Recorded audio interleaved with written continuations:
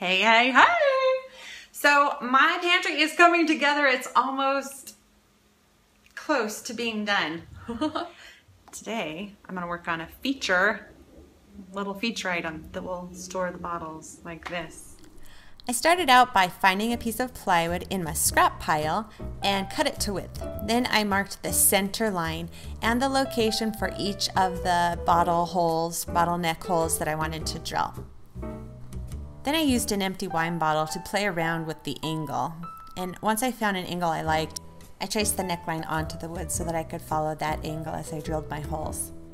Then I used another piece of scrap plywood, the piece that I had cut off earlier, and glued it on to the back of the piece that I had just marked. I wanted it to be extra thick.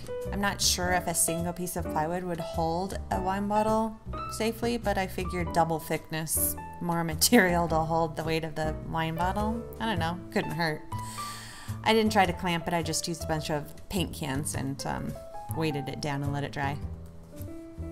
And then I had to set up my drill press before I could actually drill the holes. Uh, if you saw the video, you saw how well the setup went, and how it actually functioned is a whole other story. This is crazy. I don't think this is gonna work very well. But I'm gonna try it. I try crazy things all the time. Drilling a really long board at a really steep angle was very difficult. This was my trial run with this drill press. So I, I just started out with the drill bit that I had on hand, which wouldn't drill deep enough. So I went and purchased a new bit. And I bought a spade bit. I realized I should have gotten a Forstner bit, and I still haven't tried my drill press with a Forstner bit, but this spade bit was freaking scary. I didn't like having my face level with the bit, so I climbed up onto my table and finished drilling there. But I'm not sure if it was just the bit, I don't think it was. There's just a lot of play in the spindle arm on this drill press. So there was a lot of wiggle, and I just didn't feel comfortable with it. So I finished drilling the holes by hand. So I'm already getting frustrated with this project at this point, but the holes did work, so I'm moving ahead. So I sanded the front, back, and inside the holes, and because the drilling process did not go super smoothly, I put wood filler in the holes in addition to on the front of the piece. I also wrapped a spindle with sandpaper and tried to smooth out the holes as well as I could. I also decided that I needed to enclose the back, just in case anyone ever in the future stuck their head into this tiny cabinet and peered through a tiny hole, I didn't want them seeing the unfinished, deep dark corners of this pantry. I used a spine and created a little triangle, glued and nailed it together. Thought it would work just fine. But when I looked through the hole, I could see the spine, so I had to start over. Well, I didn't have to, but I did. If I wouldn't have looked through the hole, I wouldn't have cared. But since I knew it was there, I had to fix it. This time I went with a little box, and I'm happy with the results. I sanded and painted before installation and dry fit and trimmed a couple times. Cut one side at an angle.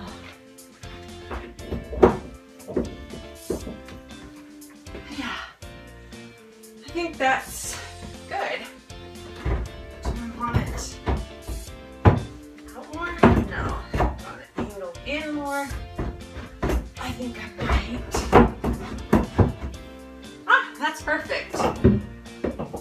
Securing this thing into place was a little bit tricky. I had to put a cleat on the wall behind it so I'd have something to nail this to. And then I used a lot of caulk. I've cut a piece of wood to match all of the weird angles. And now I'm securing a block of wood on the top of this so I have a way to secure this to the cabinet side, the adjacent cabinet side, since there's nothing actually underneath it. It will look like the cabinet side is here underneath, or I mean behind this shared face frame. And then it will sit on my wine rack on the other side and I'll, I'll nail it in there, nail it in there.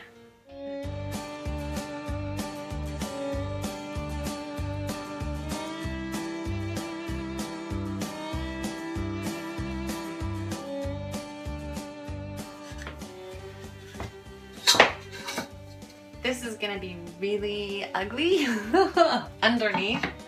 If anyone ever pulls this apart and looks at it, it's gonna be ridiculous. But I think that if I double that up, it will raise this up to where it needs to be.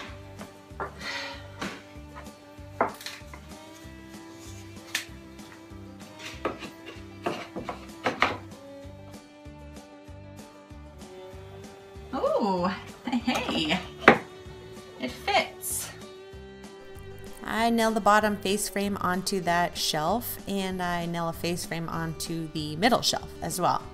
And then I putty and sand and basically I'm just like holding this whole thing together with caulk and cleats and nails and some glue and cutting some little scraps and shoving them in place. It's a real cluster fugazi.